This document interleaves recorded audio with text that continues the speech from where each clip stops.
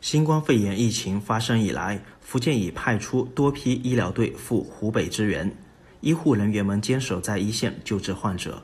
在福建支援湖北医疗队中，也涌现出了不少多才多艺的医护人员。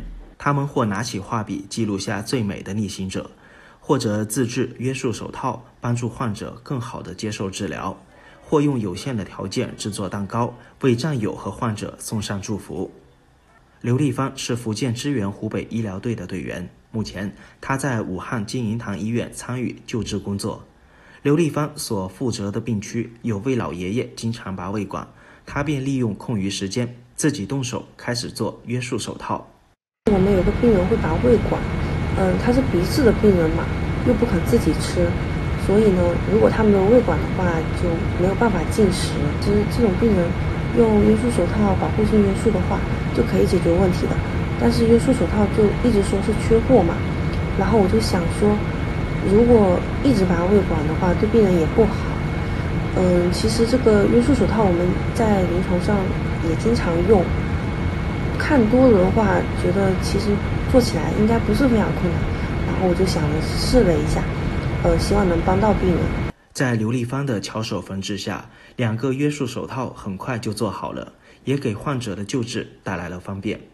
在救治一线，医护人员们也是尽其所能，为战友和患者们加油打气。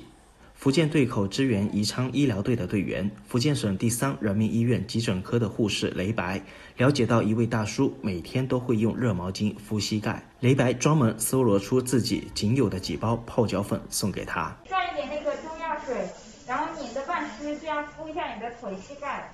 会好一点哈，好好好，因为带的不多，都是我们自己带过来，本来自己用，但是想说把全部拿出来给你们一人分一点，让你们了解一下这个中医也是非常好的。福建对口支援宜昌医疗队队员、福建省第二人民医院主管护师张志恩则摇身变成了灵魂画手，利用休息时间画出了他和战友们在岗位上的坚守。接下来呢，我会继续。创作一些海报，鼓励病人战胜病情，早日康复；鼓励我们的医生护士坚持战斗，消灭新型冠状病毒。此外，在宜昌市第三人民医院内，福建对口支援宜昌医疗队的医护人员为并肩作战的战友送上了生日的惊喜。他们用绿豆饼自制生日蛋糕，煮上热腾腾的长寿面。还制作了暖心的祝福视频。杰哥生日快乐！杰哥生日快乐！更多精彩尽在中国新闻网客户端。